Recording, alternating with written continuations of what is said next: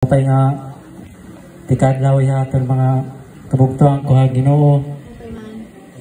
Ah, nagpapasalamat daw ako han Ginoo kay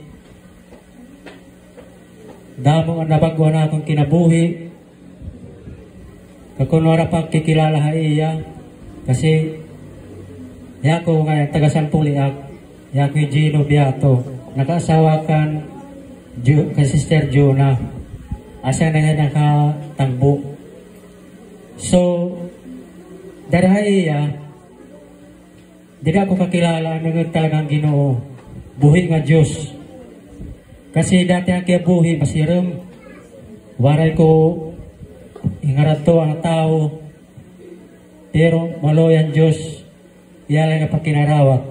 Kaya waray talagang posibilidad ginoo. Basta, tumo ka lang iya. Ngan,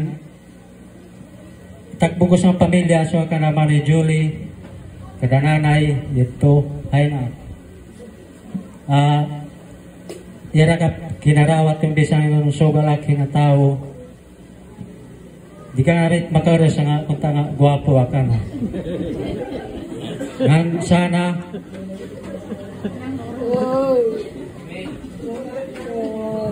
balitaw na mo salamat ang ginuungan. pasalamat dia tak ada tak bisita insyaallah.